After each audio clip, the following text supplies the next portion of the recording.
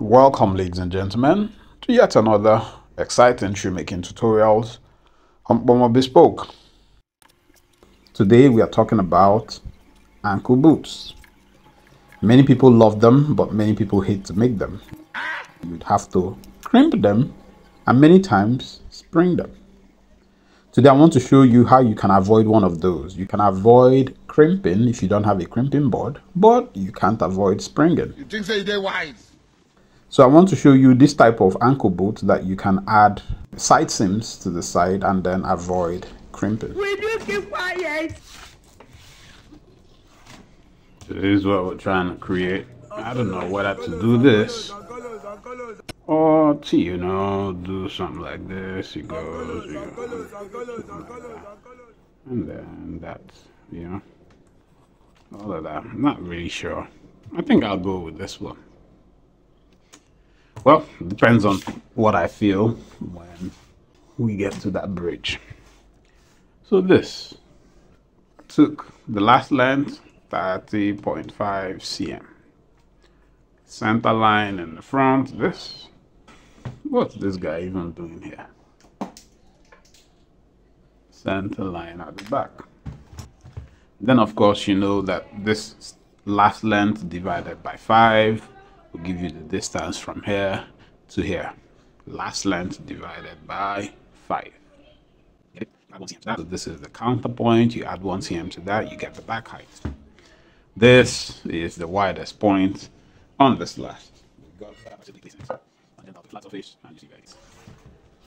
Tangent out to its flat surface, and you see the point over there. See that? So that. So this is the vamp line, the point it intersects with the center line in front is called the vamp point and then if from the vamp point you measure upwards one quarter of the last length that's what the last length divided by four the distance you get is the distance you mark in step right from here to this right side ball take the measurement divide it into two so this is half that's half. Divided into two draw a line from your counterpoint all the way to that middle point. And this line is called a waterline you can see that I have also done taped out the bottom because I need the bottom pattern for my insole. This is a high heel so I have to pay attention to how I construct my insole. Um, basically this will start around about the instep and go somewhere like that. This this this this. We'll do all of this on flat paper but next thing we need to do is to get this guy out and cut. We've cut out our last copies. We're going to double up the last copies and build a mean form from the last copies and then draw a pattern from that mean form before I forget, what we're building is a high heel shoe, so we need to calculate the heel pitch, which is how far the heel of the shoe lifts off of the ground if you wedge it with a pencil. In the case of this last, it came to about 8 cm. 8 cm is about 3 inches, I guess. 3 point something inches, I don't know. Whatever. So that's our mean form. We start designing right now. Place our mean form on the heel pitch mark and draw out the mean form.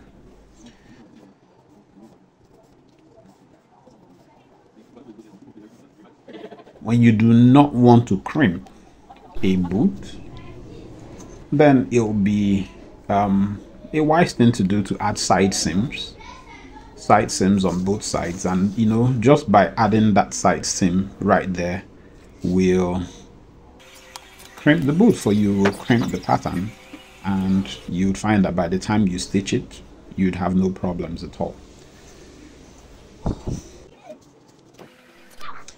I'm not going to sit here and explain blue by blue the theory involved in designing boot patterns. I have extensively, extensively done that in several playlists. There is the off-boot behavior, there is uh, the derby boots classes, I think there's the Chelsea boot classes and then there is off boot behavior. Look at look at those playlists and you know acquaint yourself with what needs to be done. What I really want to point out is that when you have a boot to make and you don't want to crimp it, you basically add side seams like you see that I have done. So you add a side seam on both sides. What happens is that when you stitch that together, you'd find that the boot takes the um, blocking of the last.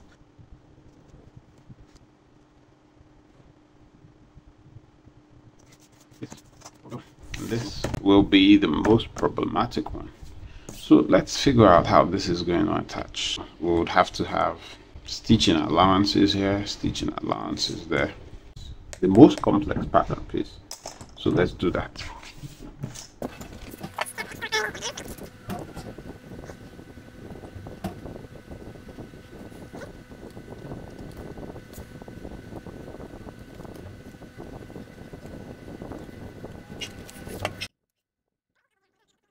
The most difficult pattern piece it doesn't need crimping but it sure does need springing. So let's see how we spring that. You bend it backwards like that. Use that intersection point as your pivot. Pivot again until it lies 90 degrees. You pivot again. You keep going until you get to the joint of the curve. So you draw your curve up to the joint of the curve and at the middle point of the joint of the curve you pivot to the tip of the vamp and draw in the rest of the curve up to 1 cm at the feather line. Now with your pivot at the tip of the vamp you draw in the rest of your feather line and then at that point where the feather line meets the ball you use that to bring it back to the rest of your feather line.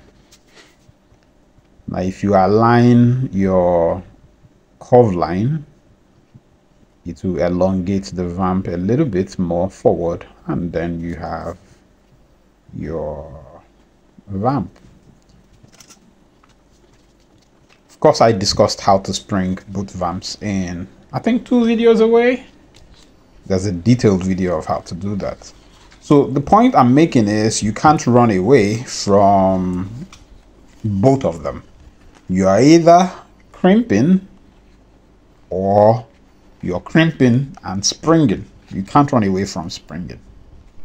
So we did a test shoe to check out the pattern and as you can see, this is what it looks like. As you can see, it sits quite very well in the well of the last without any um, crimping. Uh, so that's about it. Of course, you can see that I added a zipper to the side right there. Meanwhile, I hope you guys are getting ready for the Leather Technology and Trade Online Summit. It's next week, oh, don't miss it. Make sure you register. Hope to see you there. God bless you.